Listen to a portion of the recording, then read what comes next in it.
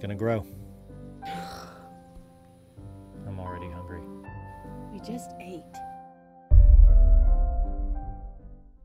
What's happening, my friends? This is Mabel. And if you would like your own Mabel, you can shop sportsmansguide.com No, and use. No cow. That's Sportsman's Guide. I'm being told Sportsman's Guide is not selling cows anymore. They never did, John. Well, I think that's kind of lame. They're still selling like the hunting accessories and firearms and ammunition and survival gear and stuff, though. And the War Poet coupon code still works, Yeah. but no cows. I think they should have cows. Comment down below if you think Sportsman's Guide should start selling cows. I, for one, am going to go ahead and upvote that. Sportsmansguide.com, code War Poet, hashtag sell cows. Cows are good.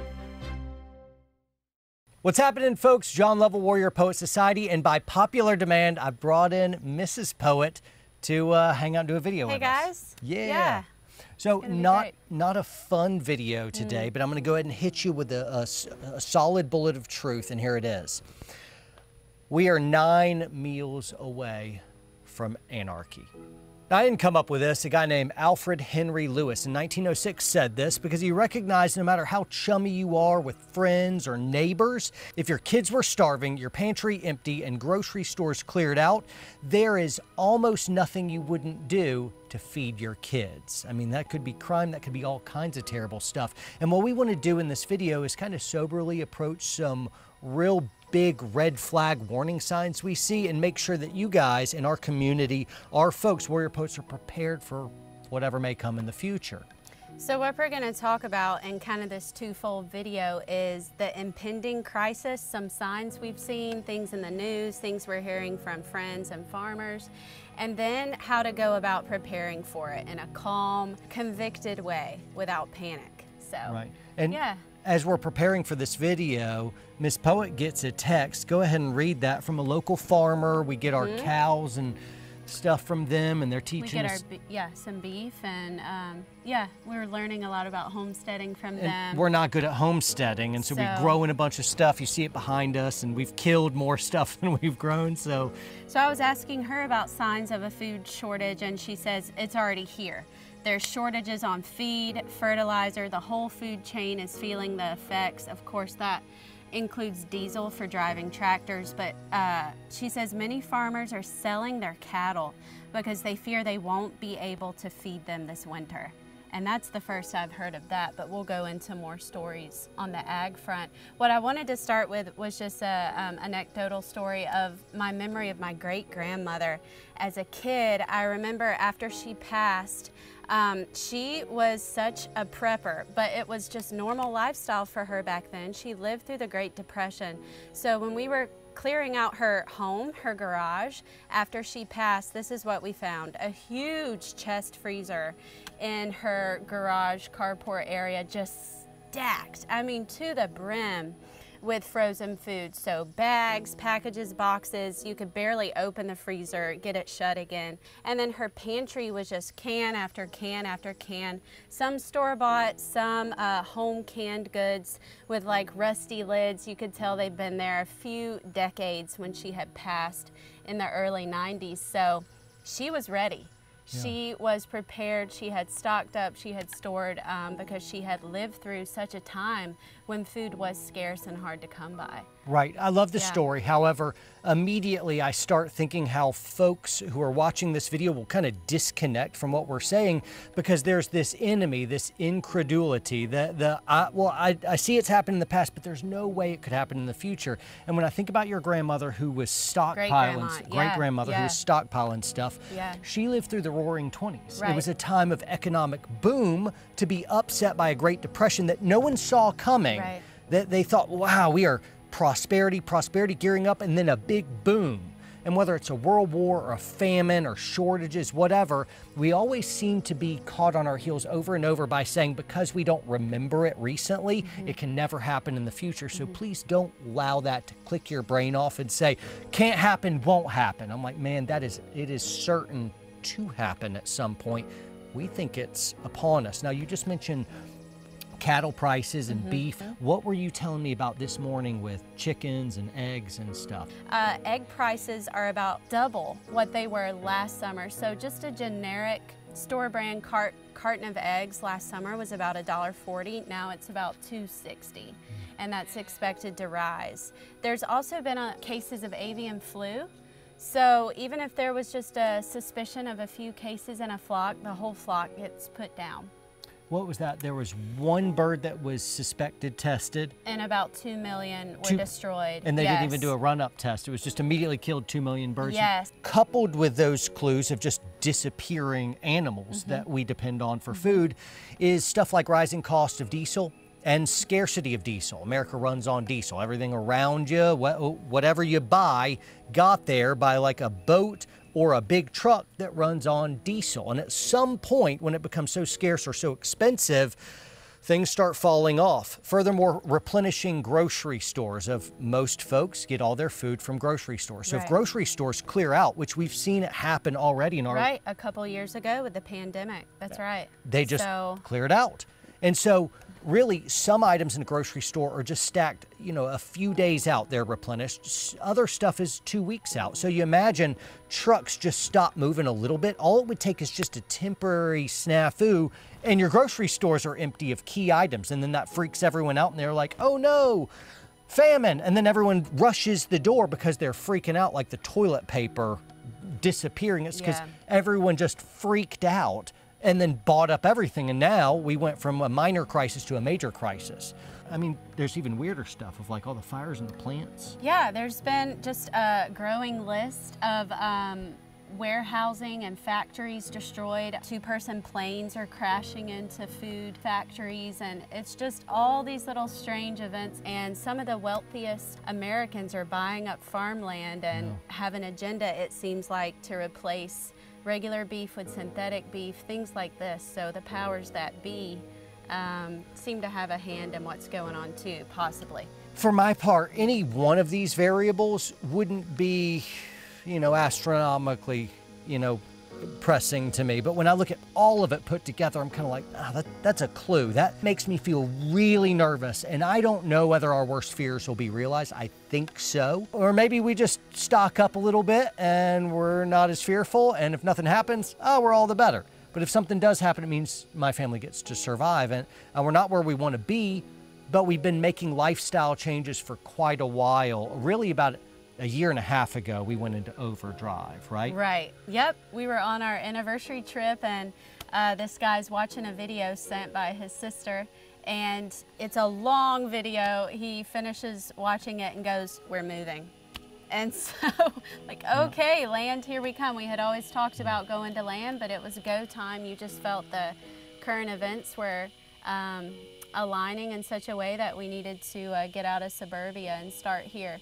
But we do also want to talk about how, if that's not possible for everyone, there are things that you can do to prepare. Right. Yeah. Well, so, for you, you first we had a willingness to see that stuff's happening that's scary to us, and as a protector provider of like, I really want to be able to provide, and I don't know how to do that in suburbia, but I had to ask my wife, who needed to be willing to make a radical lifestyle change, because we went from a renovated home that we really liked. It was nice, you know, and we're in a neighborhood and we know everybody and we're really close to our church and we're really close to my work, just kind of down the street. And we had to move from this renovated, nicer home and we downgraded our lifestyle. Our home is smaller and it is not nearly as nice. And the idea is is we downgraded our standard and quality of living so that we could buy chickens and some land and stuff. well, so I'd say quality of the four walls around us, but our quality of life has gone up. That's well said. Right? Good job. Good job. Good because of the land and, and just the lifestyle to raise our boys on. But yeah, we've been thinking about the future and preparing, trying to grow some of our own food, trying our hand at some of our own uh, animals. Right. Raising a flock of laying hens for eggs, and then we've even got um, grass-fed beef if we needed to butcher. But I love the cows, and now they have calves. But Yep, true I story. that I just delivered a calf. It was being born back. So now I'm officially no longer a city boy. You can mark it Yeah, he's a farmer now. I I'm- mean, this is legit. Uh, he was coming out Breech. back feet first. He was just chilling. He wasn't coming out of there, and his legs were kicking a lot at first, and then a little bit less, and then not at all. I'm like, I got to get this guy. So I ripped him out, and he wasn't really. I wasn't seeing a, a good uh, rise and fall in the chest. So I started doing compressions, and I clear his airway, and you know, shake him a bit, and then he kind of comes to, and I saved that. I am It's a, amazing. I'm a country boy now, It's right? amazing, yeah. God had you go out and check on the cattle just at that moment. I saved him so, I could eat a bunch of hamburger later. Yeah, that might be true. I mean, it's the circle of life here. for your part, guys, you need to first recognize there is some ugly and scary stuff happening. And, and your first part of the battle is just wrapping your head around it and getting over that bias that refuses to believe the clues around us that Oh, yeah. the horrible thing might actually be happening. You can't bury your head in the sand, right? no Not one- at this point. No one wants to recognize that bad is coming. The second thing is be ready to to have it cost you something because there's a bunch of reasons uh, to not change uh, the thing, and we had to sacrifice to get where we're at. You don't know my life. You don't know what I had to sacrifice and and and. And what we had to do to do this, but it was very difficult. It was very taxing on us, but we made the change. Uh, so for our part, uh, you may have access to land and you may not. We want to speak to both of us, but both of those options. But before we get into, I don't have land, I'm stuck with what I got. Before we speak to that, we wanted to be able to just talk about some of the stuff that we've done. We've gotten chickens, so we eat our own eggs every day. We got alpacas wandering behind us. Yeah, Cusco's been in the shot. Um, yeah, and he's great for fertilizer. And then their fleece, we're gonna send off and have some blankets. And uh, we have the cows and uh, the horses, which he claims they can pull carts if need be. So if society breaks down to a cart pulling level, we're ready. You know, we're ready. So he claims Yep. that is so that's a prep there. I have three horsepower that gets infinity miles per gallon. So, So- one thing is what we want is sustainable food. So we got our greenhouse, which we planted already, and then everything died because we suck at greenhouse and it's just too hot. It's Well, too hot in the summer, so it was Yeah. getting up to 122 in there. So you just can't use it without a big, expensive shade cloth in the summer, which um, we just weren't willing to do that. So I think it's a um, fall, winter, spring item. Right. So we just have a this big garden behind us and a smaller one up there by the house. Right. But yeah, um, and we're teaching the boys how to plant seeds, how to grow the plants, how to harvest, when to harvest, and we're learning too. So this is just But now we're actually new for us. we're reaping the benefits. We are Yeah. eating our own food that we grow Yeah. or hatch every single day, and that feels good. We're about to pick up a part of a cow, which we're going to deep freeze, and that's because we're growing and selling cows. Yep. You know, and so I'm trying to learn canning, so I've got some buddies right. that are going to try to mentor me in that. I'm pretty nervous about that skill, but I'm also excited because that's kind of been a goal I've had is to learn Right. not only how to um, pick out your seeds, what to grow, how to grow it, how to harvest it, but then how to save it. So that's a big process. So I'm still learning that too. some folks may think, well, like, well, if something went sideways, perhaps I just hunt or fish. And I'm like, well, Mm-hmm. believe me, everyone's going to have that idea too. It won't take long for our deer populations to just be eviscerated because everyone wants food. You can't get food. Well, I'll go hunt for it. And so that could be a, a pretty good stopgap for a month or two. Who knows? Uh, but we could really get into some trouble there. That, that may not be the surefire longer term plan that you'd want it to be. I would say for everyone, though, you'd need a temporary stopgap of what happens if something bad happened and you're not ready to flip the switch like we're not to full time eating your own food that you produce on your own homestead. Well, you need to have emergency food supplies. And I want to go ahead and show you some of ours. And this is a work in process, but you notice we've got all kinds of tubs and containers, stuff like just simple white rice, brown rice, and beans. That stuff could feed us pretty unhappily for a very long time, but we could We love survive. rice and beans, babe. We lived in Latin America for four years. Right, but from a guy who's Yeah. eaten over 1,000 MREs, MREs, even if you love the chicken tetrazzini, you eat it enough and you will not love the chicken Yeah. tetrazzini anymore. You're It's just, done. it's Yeah. too bad. It's too Yeah. much. And so, but we varied it. We've got all kinds of. dehydrated food like Yep. soup mixes and um, dehydrated fruits and vegetables and Yep. Yeah so we, we've got a little bit of variety. And some of that stockpiling stuff is good for what 20 25 years?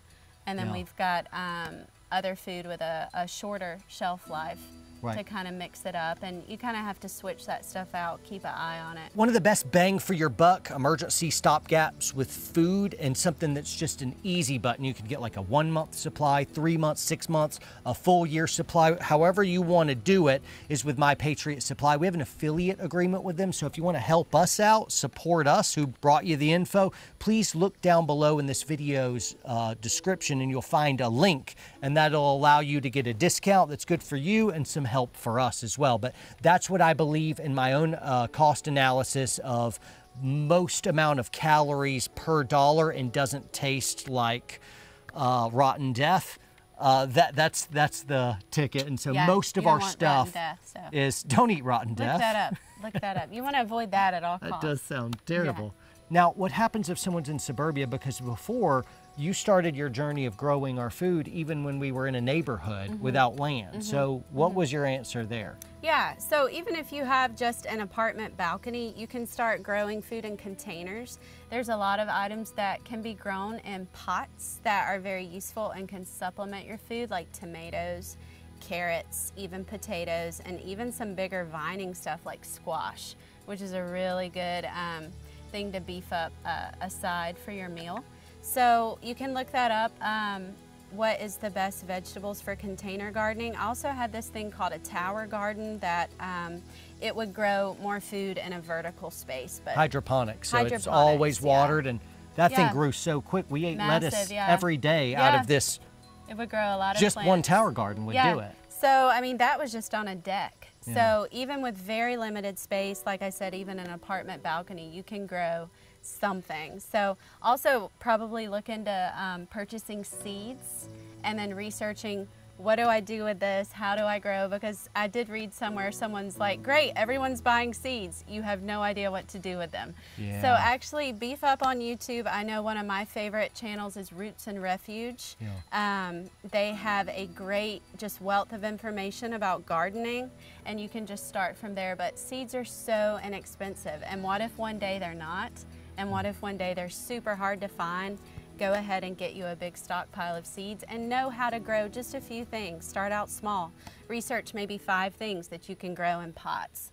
Um, if you have more of a backyard, you can even start raised beds like we did, or you can do tilling the ground. It's up to you depending on your climate, your soil drainage, all that stuff. Um, but uh, one, one gal I follow says the seeds want to grow. So if you do your best, you probably will grow a few things and learn more and more year by year. Yep. And it's, it's a fun process too. So, yeah. Uh, unless you're the one that has to move tons of dirt to fill raised beds and stuff. Ah, that's why we have two And sons. They shoveled all that out. Yeah, well, this dad lifted a lot of dirt as well. Another thing I'd encourage you guys to do is go ahead and get one of those bigger deep freezers and just fill it, pack it full with food. We are about to, in the next couple days, go pick up a third of a cow Right.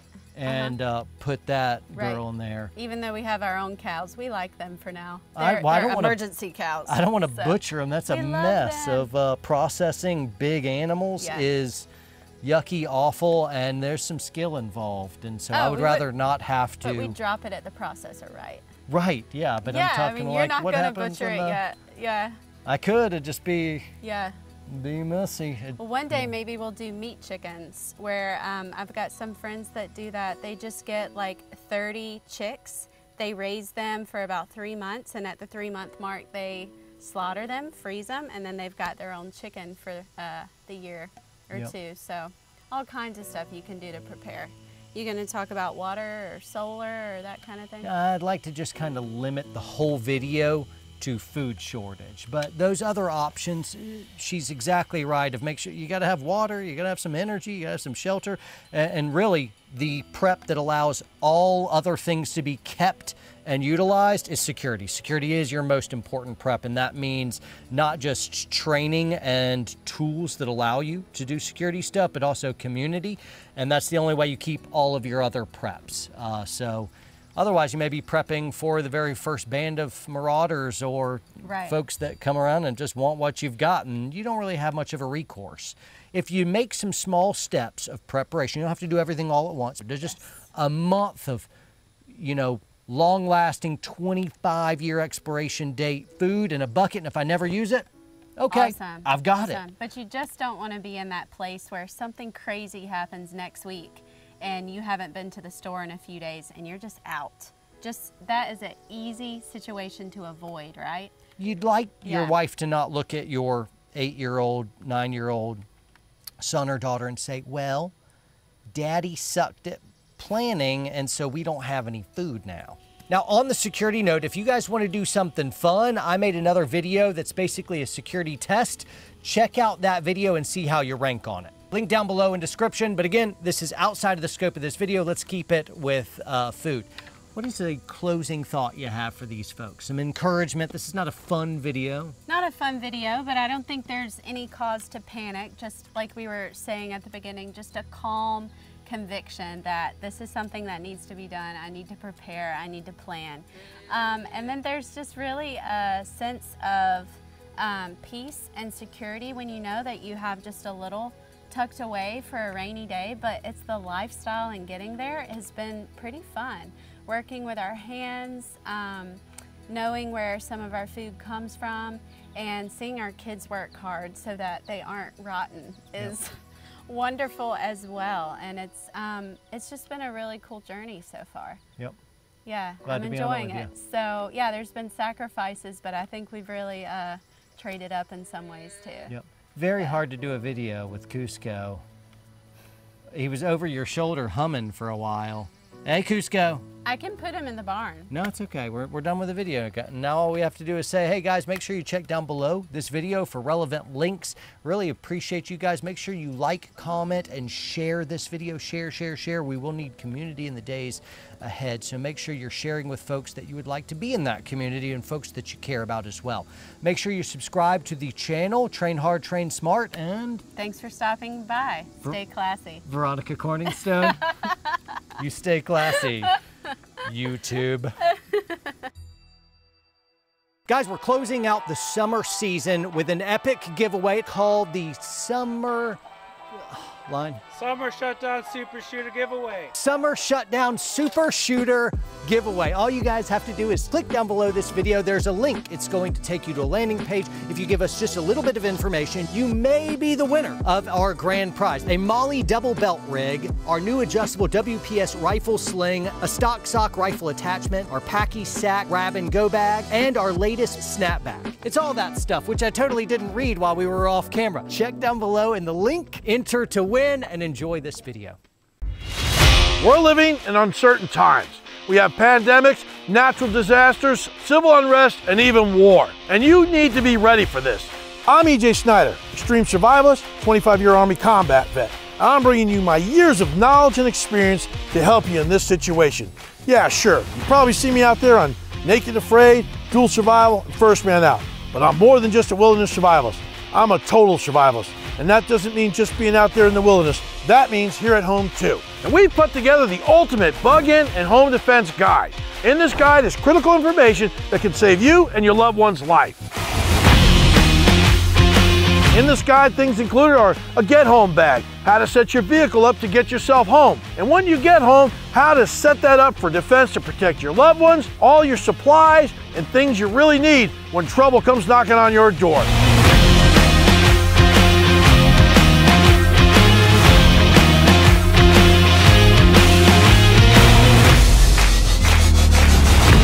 This guide is designed for everyone, no matter what your background or your circumstances, whether you're living in the city or in a rural area. Whatever your budget is, this is the framework for you to defend your home and be prepared for anything.